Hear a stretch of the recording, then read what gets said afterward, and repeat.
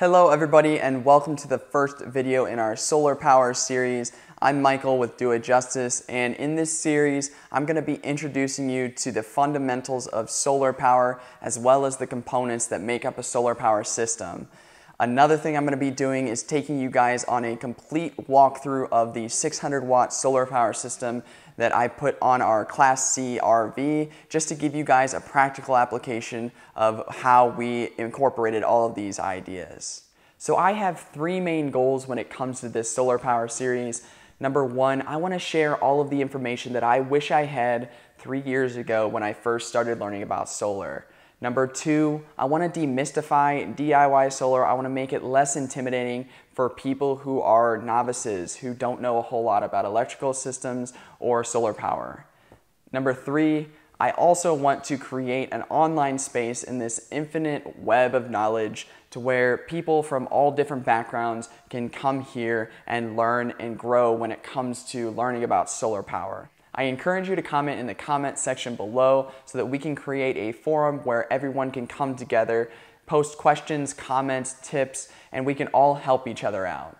You may be wondering why I'm creating this solar series because you can easily go online, buy a prepackaged solar kit, and install it yourself with easy to follow instructions. And of course, you're absolutely right. You can totally take that route if you decide. But with those prepackaged solar kits, they have three limiting factors. Number one, you're generally forced to buy one brand of products throughout the entire component. So the inverter, the charge controller, and the solar panels are all generally created by one brand, um, which may or may not be a good thing. Number two, the wire sizing on some of those prepackaged kits are wrong and they are limiting for your system. I'll get more into that in a future video. And then number three, you're usually paying more for less. The convenience of having that prepackaged kit and all those instructions, you're paying a lot of money for that convenience. So you may be getting lower quality components or you may be getting less wattage for your money.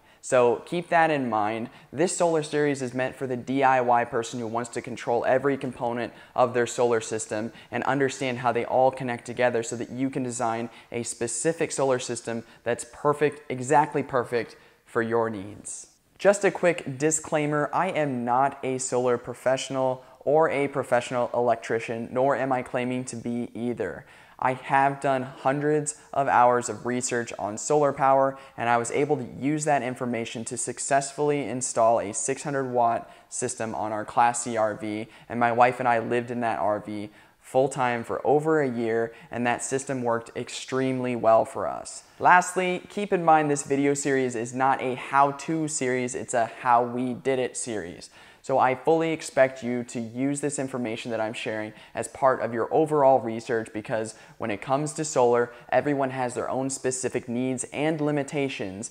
We're just sharing what worked well for us.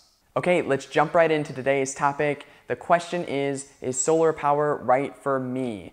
It's such an important question and to tackle it, you're gonna need to be thinking about these three things. First of all, what are your goals when it comes to solar power? Do you want solar power to provide supplemental energy that can save you money over time? Or maybe you want solar power to provide a cleaner energy source that can be more environmentally friendly. Those are both really good applications. Or maybe you even want solar power to go completely off grid and be energy independent, either in an RV, a boat, a homestead, or maybe a residential application. All of these things are totally possible with solar power, but you have to ask yourself, what's your goal with solar power?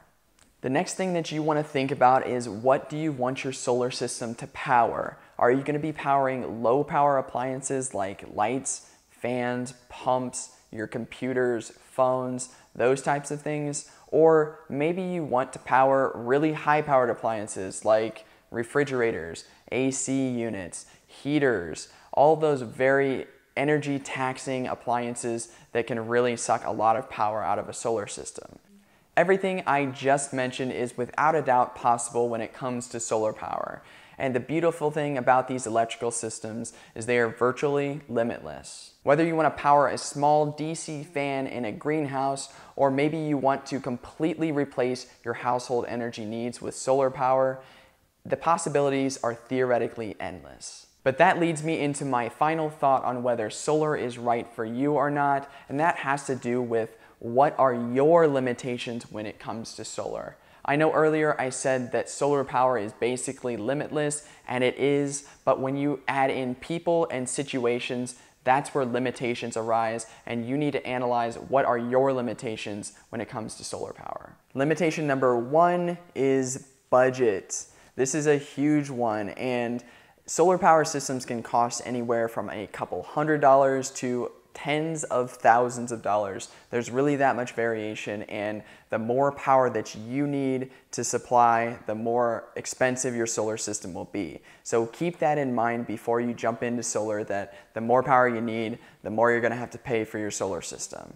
Another thing is there is a very high initial cost when it comes to solar. Uh, yes, over time you can earn your money back and pay off that system, but um, you have to realize that there is that initial cost that can really take a huge chunk out of your bank account. Technomadia has an amazing article out that has to do with the pros and cons of solar power. It talks about the budget breakdown and how long you can expect it to take before solar would pay for itself. So use that information. It is more geared towards RVers uh, because my wife and I do RV, but uh, you can take all of that information and kind of substitute your own variables when it comes to your own specific situation. But also keep in mind, we have found, Jenny and I have found that there are other intangible benefits that may make the initial startup cost of solar more worth it, such as uh, being a little bit more environmentally friendly and also just having instantaneous power that you never have to pay for on a month to month basis. Uh, so those things you also need to consider when it comes to your budget limitations, but I just thought that uh, you should know that that is a pretty significant limitation when it comes to solar power. The second limitation is space. You have to ask yourself, where are you going to install your solar system? How many panels are you going to use? How many batteries are you going to need? And where are you going to place those things? If you live in an RV, a tiny house, a boat, you have much more limited space as far as both weight and surface area.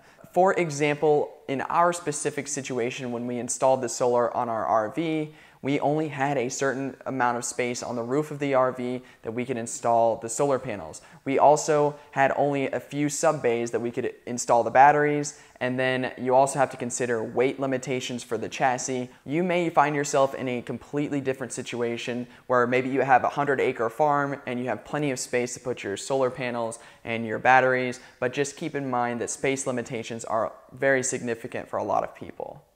The third and final limitation is where do you live geographically? Different locations get different amounts of sunlight per day on average. And this is direly important for a solar power system because it obviously relies on sunlight to produce energy. So, to help you guys out with this, I'm gonna be linking some charts in the video description below. This will give you a good idea of how much sunlight your area gets on average per day. If you live in a place that does not get a whole lot of sunlight per day on average, that doesn't mean that solar power isn't right for you. It just may mean that you need to modify your solar system to accommodate for your specific needs. All of these questions you need to consider are not designed to steer you away from solar. It's simply designed to get you thinking about the practicality and functionality of solar given your current living situations. Again, I encourage you to use my ideas and these ideas I'm providing you as a launching platform for your solar journey. Thank you so much for watching guys. As you know, this will be a solar series. If you're interested in seeing future videos, make sure to hit that subscribe button down below. Also, if you like this video, hit the like button. And if you have any questions, comments, ideas, thoughts, hit me up in the comments below. We'd love to hear from you guys. As always, I will see you on the next video.